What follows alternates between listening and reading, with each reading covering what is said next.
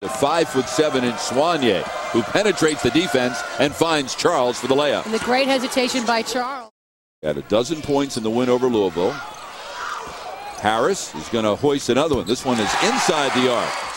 Get a little bit of confidence, and Syracuse has been able to start well, so they're confident. Thomas from behind the Charles screen goes behind the back. Quentin Hillsman told me, as far as tempo, he says, we want to get to the rim. We don't want to settle for jump shots. I don't care if there are five seconds left in the shot clock or 25. We want to get to the rim. And they did that time. Back up into that matchup zone.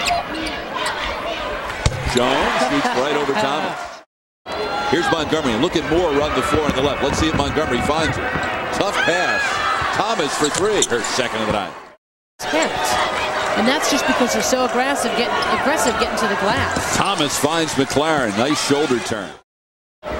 Lead in, in one possession. There's a three by Morrow.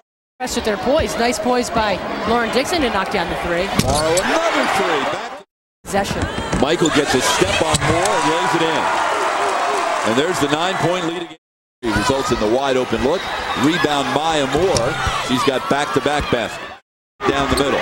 Finds Gardler on the wing. Thomas looking for her fourth three. Nope, foot was on the line.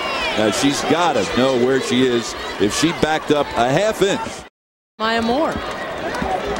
And look at Montgomery picks Tia Johnson's pocket, goes to the hole. How about that one? For three. And Moore with her 11th rebound. Takes it right to the hole. Count it! And she can tie the game if she makes the free throw. 63%. 273rd in the country in that category.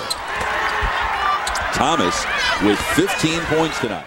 First quick three that they've done. You don't need to score. No interest in shooting the ball. Houston down low, backs in, double teamed, and scored. Tough play by Charde Houston, Bob. Her biggest basket of the year by Michael, guarded by Houston, and Houston stole it. Comes to Montgomery. They have to foul. They do.